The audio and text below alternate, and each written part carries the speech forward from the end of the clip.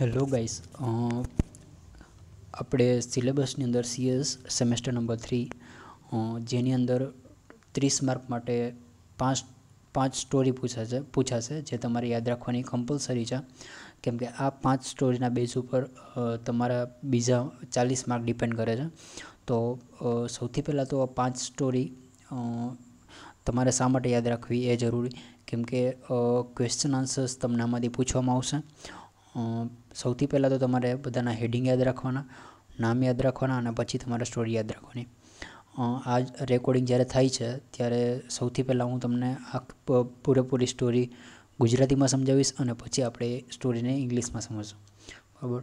તો I hope you will enjoy this lecture સૌથી પહેલું નામ છે સ્ટોરીનું નામ લિસનિંગ સ્કિલ લિસનિંગ એટલે સાંભળવાની કલા. તો સ્ટોરીનું નામ છે the boy who broke the bank એક બાળક, એક એક છોકરો કે જેને બેંકને બ્રોક કરી, બેંકને તોડી છે બરાબર? તો સૌથી પહેલાં આ સ્ટોરી છે એ નાથુની આજુબાજુ ઘૂમે છે. એટલે નાથુ છે આ સ્ટોરીનો મેન મેન પાત્ર છે. બરાબર? તો નાથુ કોણ છે? નાથુ એક કામવાળો કામવાળો વ્યક્તિ છે. એટલે કે સાફ સફાઈ કરવાવાળો કે જે પીપલનગર બેંકની અંદર એક સાફ સફાઈનું કામ કરે છે. બરાબર? પીપલનગર બેંક છે એ, એનો ઓનર છે શેઠ ગોવિંદરામ. અને આ બેંકની અંદર એ સાફ સફાઈ કરતો હોય છે. તો ત્યાં એટલામાં જ ત્યાંથી એક ધોબીનો સન કે જેનું નામ છે સીતારામ, તે ત્યાંથી નીકળે છે. બરાબર? અને અને એની એની એની સાથે બંને બાજુ થોડા કપડાં એની સાથે હોય છે. બરાબર? અને આ આ જોઈ અને એટલે એટલે એને ફ્રેશ કરેલા કપડાં એની એની પાસે હોય છે. અને એ કપડાઓ હોય છે તો ત્યાંથી નાથુ સાથેની વાતચીત થાય છે.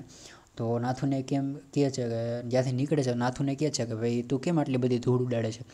કે તને એક્સ્ટ્રા બે રૂપિયા તને, આ મહિને તને પગાર નથી મળ્યો, એટલે તું આટલી બધી ડસ્ટ ઉડાડે છે? તો નાથુ એને કહે છે કે, ના, મારે આ વિશે કોઈ વાતચીત કરવી નથી. કેમ કે મને મારો રેગ્યુલર પેમેન્ટ પણ નથી મળ્યું. આજે આ મહિનાની વીસ તારીખ થઈ ગઈ છે. પણ છતાં મને મારું રેગ્યુલર પેમેન્ટ નથી મળ્યું.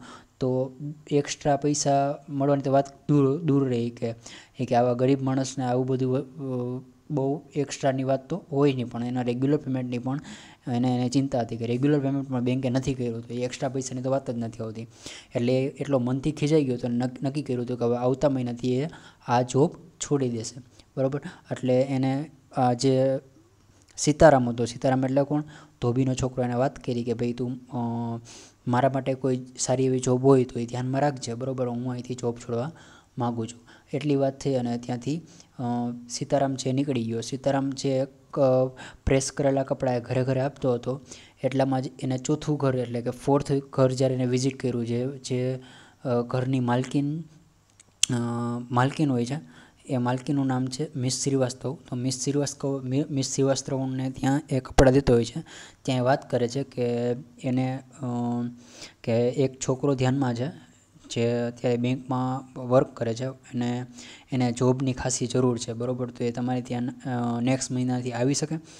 તો શ્રીવાસ્તવ એને કીધું કે, હા, કેમ નહીં? અને એમ કહી અને એને કીધું કે, હા, એ મને મળી જાય. બરાબર? કાલથી એ મને, કાલે કાલે મને મળી જાય એટલે સીતા, સીતારામને આમ અંદરથી ઘણી બધી ખુશી થઈ, કેમ કે એને બે વ્યક્તિનું કામ, કેમ કે મિસ શ્રીવાસ્તવને કોઈ એવા વ્યક્તિની જરૂર હતી કે જે ઘરનું કામ કરે અને ઓલા ભાઈ જે નાથુ હતું, એને જોબની જરૂર હતી. તો આ નાથુ અને સીતારામ એ બંને ફ્રેન્ડ હતા. એટલે સીતારામને શું થયું? સીતારામને સીતારામને અંદરથી ખુશી થઈ કે મેં નાથુની પણ હેલ્પ કરી અને મિસ શ્રીવાસ્તવને પણ હેલ્પ હેલ્પ કરી. ઓકે ફરીવારથી તમને રિપીટ કરાવી દઉં. નાથુ છે એ બેંકની બેંકની અંદર એઝ અ સફાઈ કામદાર તરીકે વર્ક કરે છે. બેંક છે જેનું નામ છે પીપલનગર બેંક. એ બેંકનો ઓનર છે મિસ્ટર ગોવિંદરામ. સીતારામ છે એ ધોબીનો સન છે, બરાબર. અને મિસ શ્રીવાસ્તવા છે, મિસ શ્રીવા, મિસ શ્રીવાસ્તવા છે એ બરાબર. એ એક લેડી છે કે જેને એ કોઈ એક વર્કરની કારીગરની જરૂર છે જે ઘર સાચવી શકે.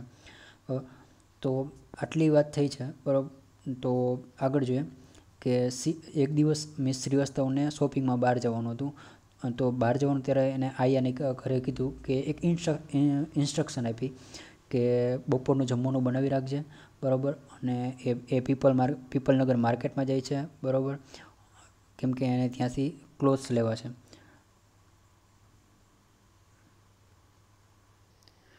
અચ્છા તો શોપિંગ માટે મિસ શ્રીવાસ્તવ ઘરેથી નીકળી જાય છે અને શ્રીવાસ્તવ એ વખતમાં પીપલનગર માર્કેટની અંદર એટલી બધી ગરમી હોય છે કે એ એક ત્યાંથી છાયાવાળા એક આંબલીના ઝાડ નીચે એ બજારની અંદર નીચે ઊભી રહી જાય છે. ત્યાં એની ફ્રેન્ડ મિસ્ટર ભૂષણ પણ ત્યાં ઊભી હોય છે ગરમી, ગરમીથી પરેશાન. બરાબર? તો આ જોઈ અને મિસ ભૂષણ અને મિસ શ્રીવાસ્તવ બંને એકબીજાને મળે છે, બરાબર? અને મિસ ભૂષણ છે એની હેન્કરચીપથી આપણે કહે ને કે હવા પવન નાખતી હોય છે. મિસ શ્રીવાસ્તવ છે એ બંને મળે ત્યારે મિસ શ્રીવાસ્તવ પાસે થોડાક સાડીના અમુક સેમ્પલ હોય છે તો એ બંને બતાવે છે અને પાંચ મિનિટ એના એના વિશે વાતો કરે છે. બરાબર, કે ડિઝાઇન કેવી છે, એનું ટેક્સચર કેવું છે શેડ કેવો છે, બરાબર. પછી વાતની વાતમાં એ નીકળે છે કે ભાઈ કેમ કે મિસ શ્રીવાસ્તવને તો ખબર હોય છે કે ભાઈ, ઓલા સીતારામે કીધું હોય છે કે ભાઈ, નાથું છે અને બેંકે પૈસા નથી આપ્યા અને એને જોબ મૂકવી છે. એટલે એને ખબર પડી ગયો તો મિસ શ્રીવાસ્તવ છે, એની જે ફ્રેન્ડ છે, એને કહે છે કે, તને ખબર છે કે કે શેઠ ગોવિંદરામની જે બેંક છે, એને એના એમ્પ્લોયને પેમેન્ટ નથી કર્યું એ કે? આજે જ સવારમાં એ કે મને એનો જે એક કામ કરવાવાળો છોકરો છે એની જોબની ઓફર આવી, બરાબર?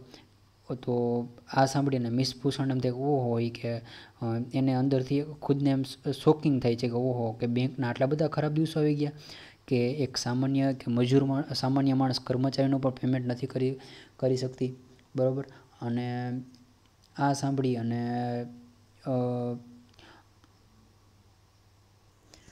આ સાંભળી અને મિસ્ટર મિસ ભૂષણ છે ત્યાંથી મિસ્ટર ભૂષણને શોધવા માટે નીકળી જાય છે. કેમ કે એને ખબર પડી ગઈ હતી કે હવે બેંક તો બેંક છે એ એની ખરાબ પરિસ્થિતિમાં આવી છે એટલે મિસ ભૂષણ છે એના એના હસબન્ડને શોધવા માટે નીકળી.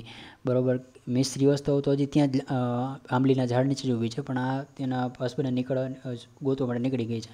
અને ત્યાં જ એને કમલ કિશોર જે ફોટોગ્રાફિકની શોપ છે, ત્યાં, બરાબર, ત્યાં એના હસબન્ડને જોઈ ગઈ. બરાબર? તો એને એને કીધું છે શ્રી મિસ, તો મિસિસ શ્રીવાસ્તવ, મિસ્ટર શ્રીવાસ્તવને કીધું કે હું તો તમને કે ક્યારની ગોતું છું? તમે ક્યાંય કે ખોવાઈ ગયા હતા? તમે અહીંયા છો એમ ને?